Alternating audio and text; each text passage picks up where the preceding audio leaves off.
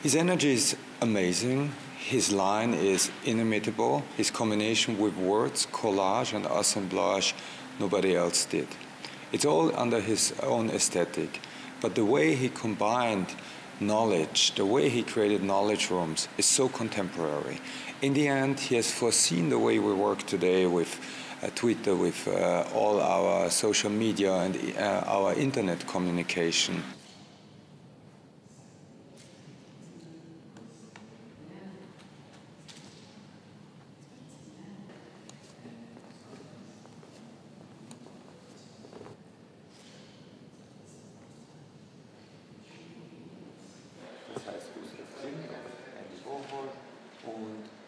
前面。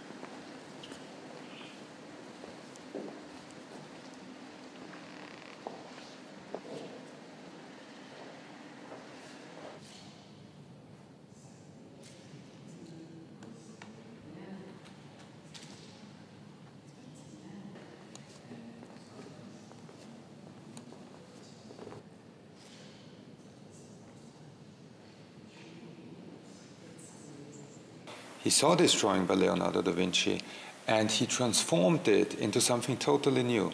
The horse that so called Death Rider is riding is not existing, it has fallen apart.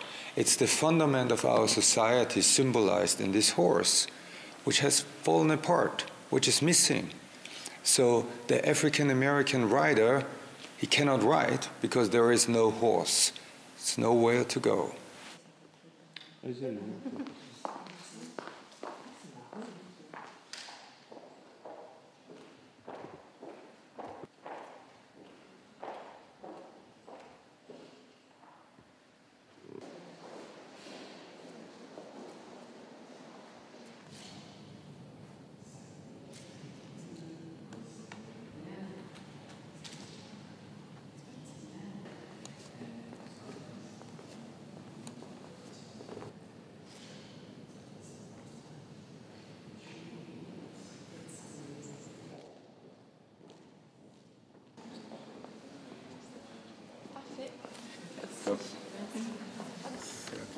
Euh,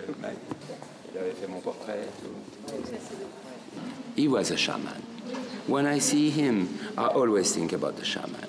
He has this kind of crown, who has become now iconic, but his elegance was the one of a, of a tribe chief, you know, shaman, you know. I find this kind of allure with Barack Obama in some kind, you know.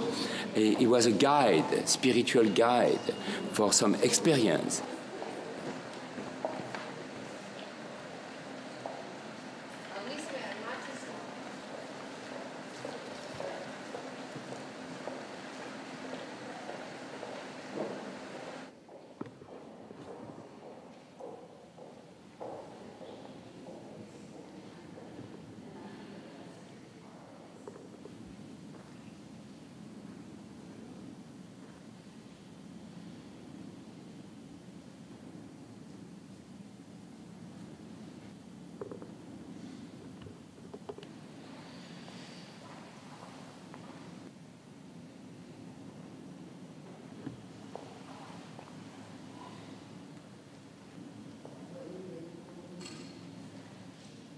It was my idea once in the wintertime in St. Moritz when we saw other collaborations hanging in my house of other artists.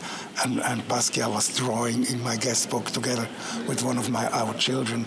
Uh, that was collaborations. And, and I asked him once, maybe it would be nice to make once collaborations with, an, with one or two other artists.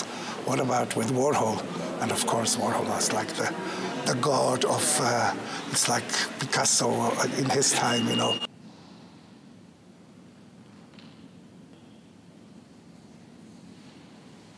He was just great, a great personality and maybe the most curious person I ever met. He wanted to know everything about anything.